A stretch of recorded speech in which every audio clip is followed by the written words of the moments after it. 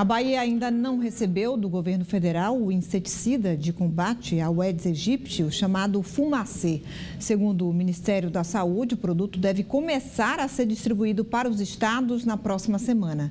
Este período do ano, de muita chuva e calor, é propício para a reprodução do mosquito.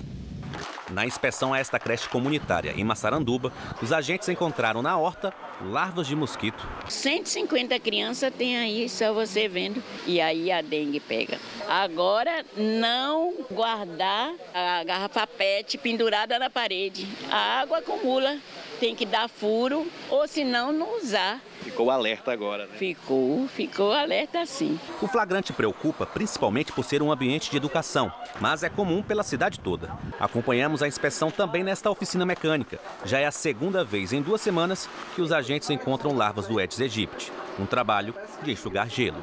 Passamos a mensagem para o morador, infelizmente, muitas vezes voltando ao mesmo local, encontramos foco. E quando o aviso para não jogar lixo na rua não é obedecido, focos do mosquito aparecem.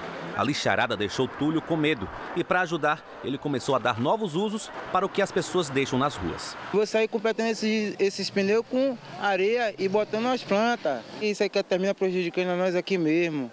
Quanto mais que tem muita gente aqui que mora aqui, crianças, muitas pessoas idosas. Segundo o Ministério da Saúde, os casos de dengue aumentaram 30% de janeiro a abril. Chikungunya 40% e Zika quase 300%.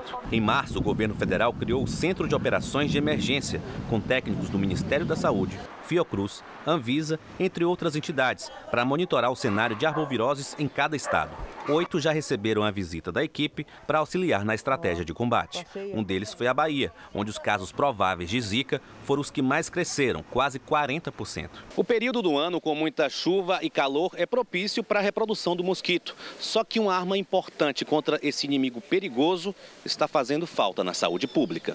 O inseticida conhecido como fumacê, que segundo o Ministério da Saúde, teve a distribuição atrasada por causa de problemas na compra do produto no governo anterior. Mas o material deve ser enviado aos estados nas próximas semanas. Nós estamos trabalhando com o que temos porque fizemos uma administração deste produto. Então a gente acaba não tendo essa ampliação do nosso lastro, do nosso caráter preventivo.